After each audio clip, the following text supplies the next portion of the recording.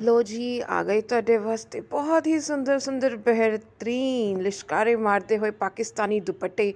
ਅੱਜ ਕੱਲ੍ਹ ਇਹਨਾਂ ਦੁਪੱਟਿਆਂ ਦੀ ਇੰਨੀ ਡਿਮਾਂਡ ਹੈ, ਇੰਨੀ ਡਿਮਾਂਡ ਹੈ, ਕਿਉਂਕਿ ਇਹ ਦੁਪੱਟੇ ਹੈ ਹੀ ਇੰਨੇ ਖੂਬਸੂਰਤ। ਤੁਸੀਂ ਦੇਖ ਸਕਦੇ ਹੋ, ਇਹਦਾ ਬੇਸ ਜਾਰਜਟ ਦਾ ਹੈ, ਇਹਦੇ ਉੱਤੇ ਬਹੁਤ ਹੀ ਸੋਹਣੇ ਸੋਹਣੇ ਸ਼ੀਸ਼ੇ ਦਾ ਵਰਕ ਕੀਤਾ ਹੋਇਆ ਹੈ। ਬਹੁਤ ਹੀ ਪਿਆਰੇ ਪਿਆਰੇ ਕਲਰ ਤੁਸੀਂ ਬਾਰਡਰ ਦੇਖ ਸਕਦੇ ਹੋ ਇਹਦੇ। ਇੰਨੇ ਸੁੰਦਰ ਦੁਪੱਟੇ ਕਿ ਕੁੜੀਆਂ ਦੇਖ ਕੇ ਇਹਦੇ ਉੱਤੇ ਫਿਦਾ ਨਾ ਹੋਣ, ਇਹਦਾ ਤਾਂ ਹੋ ਹੀ ਨਹੀਂ ਸਕਦਾ। ਤੁਸੀਂ ਸਾਡੇ ਸਾਹਮਣੇ ਨੇ ਬਹੁਤ ਸੁੰਦਰ ਸੁੰਦਰ ਕਲਰਸ ਇਹਦੇ ਅੰਦਰ ਬਹੁਤ ਸਾਰੇ ਕਲਰਸ ਅਵੇਲੇਬਲ ਨੇ।